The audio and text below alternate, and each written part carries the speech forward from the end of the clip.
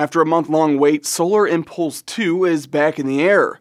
Next stop, the islands of Hawaii, six days and six nights away. This is the latest and longest leg of a trip that started two months ago. Solar Impulse 2 left Abu Dhabi in March in an effort to circumnavigate the globe using only solar power. The upper surfaces of the plane are coated in solar cells to maximize its collection. Except for its sun charged batteries, it doesn't carry any sort of fuel. The Solar Impulse team says its flight is to demonstrate the broader potential of renewable energy. They hold up the sun powered plane as a proof of concept for how such clean tech can be made useful. One thing's for sure Solar Impulse won't replace any commuter planes anytime soon. It's got a top speed of a little more than 86 miles per hour, is a real lightweight at just 5,000 pounds, and still has a wingspan greater than a Boeing 747.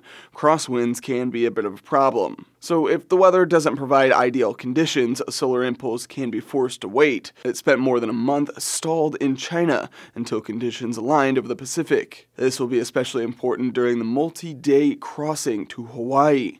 After flying all night, its batteries can run down to less than 10%, so it depends on recharging in clear skies in the morning. The more than 130 hour flight will be upwards of five times the duration of the longest previous leg.